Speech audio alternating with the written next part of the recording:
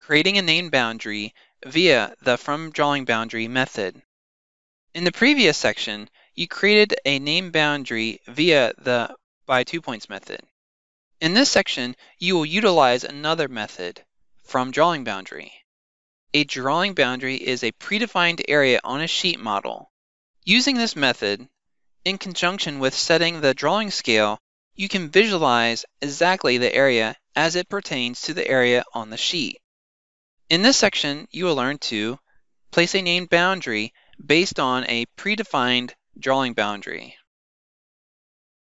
Continuing in the Pond Plans DGN file from the DGN roadway folder of the SR20 project, select Apply Saved View.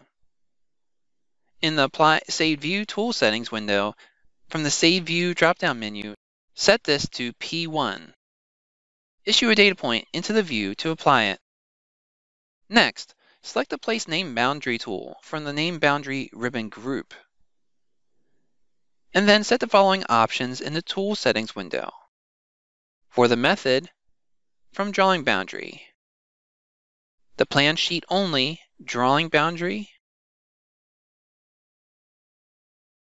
for the name, Retention Pond 1. For the mode, place a single name boundary. Set the detail scale to 1 inch equals 50 and make sure that the Create Drawing option is enabled.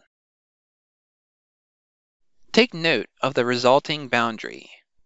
At this given scale, it's not large enough to encompass the area around the pond.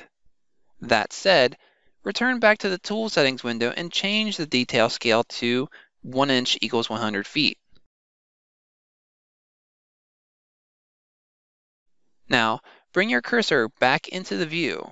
This time, the scale is suitable.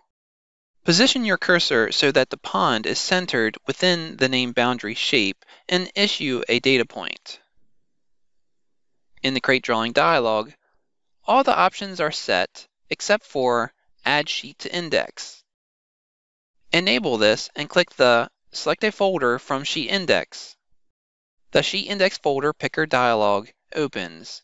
From here, expand SR20 and then roadway plans. Highlight the Drainage Plans Profiles folder and then click OK. When finished, click OK to dismiss the Create Drawing dialog and create the sheet. Using the Element Selection tool, move the drawing title away from any geometry.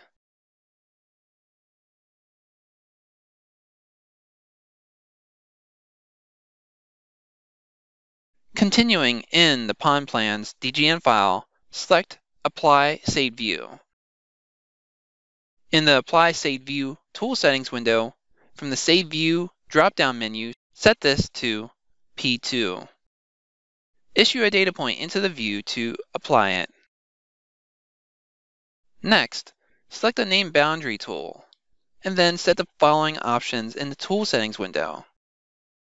For the method, from drawing boundary. The plan sheet only drawing boundary. For the name, retention pond 2. For the mode, place a single name boundary. For the detail scale, 1 inch equals 50 feet, and with the create drawing option enabled. Now, position your cursor so that the name boundary shape is centered over the pond and issue a data point.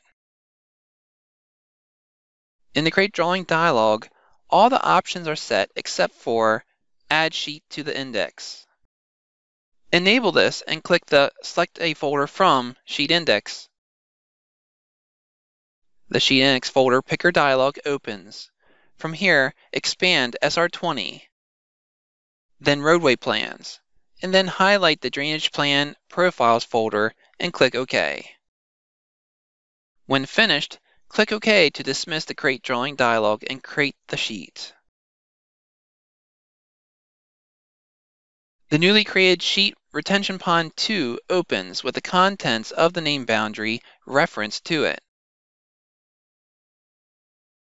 Select Apply Saved View and apply the P3 Saved View.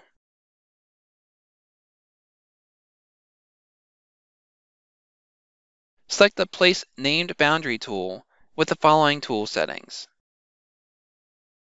From Drawing Boundary, Plan Sheet Only for the drawing boundary, Retention Pond 3 for the name, place a single name boundary, set the detail scale to 1 inch equals 100 feet, and the Create Drawing option enabled. Position your cursor so that the name boundary shape is centered over the pond and issue a data point. In the Create Drawing dialog, enable the option Add Sheet to the Index and click the Select a folder from Sheet Index. Expand SR20, Roadway Plans, and then highlight the Drainage Plans Profile folder and click OK. And then click OK to dismiss the Create Drawing dialog.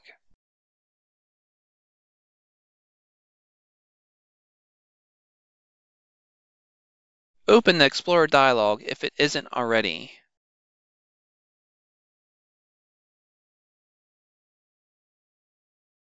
Along the icon bank of the Sheet Index tab, click the Open Sheet Index for edit. Expand the Drainage Plans Profiles folder within the SR20 Sheet Index. From here, rearrange the retention ponds sheets using the drag and drop technique so that they are in the proper sequence. Then, right-click on the project root, SR20, and then choose Update Sheet Model Properties from the contextual menu.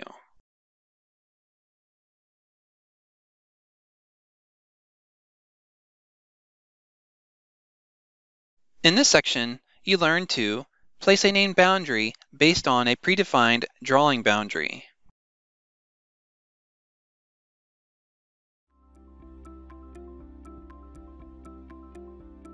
If you found this video helpful, please give it a like. If you want to see more such series, consider subscribing to our channel. Thank you and see you next time.